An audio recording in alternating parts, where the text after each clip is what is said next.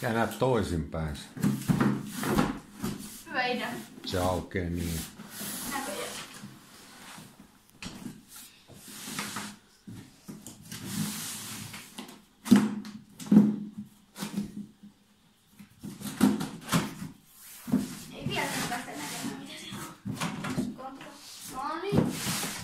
Mitä kasaus on? Tämähän on ihan valmis.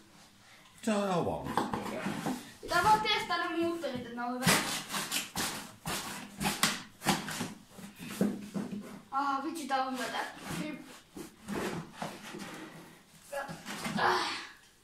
Mua kiinnostaa vähän. No niin, esittele se. Nitruksen.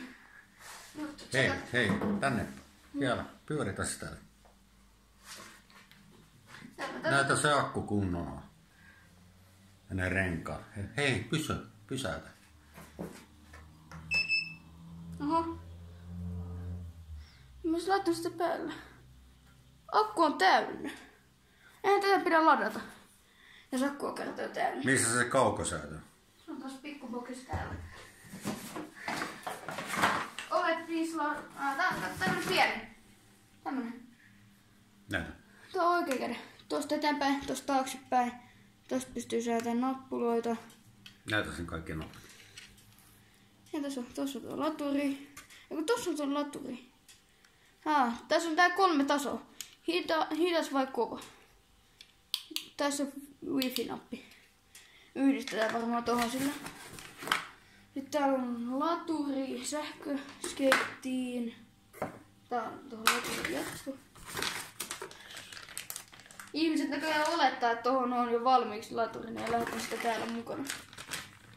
Sitten tässä on tää, millä voidaan tarkistaa. Tää on aika, tää on aika hyvä, sanoisin. Aika jykevä tuntunut. Kato, tässä on tämmönen pieni. Tää on aika jykevä tuntunut kaveri tämä. Joo, ota se siitä. Älä heittele niitä. Tiedätkö mitä muuten huomaa tässä heti? Tää laittaa vetoja molemmista näistä renkaista. Se on aina hyvä.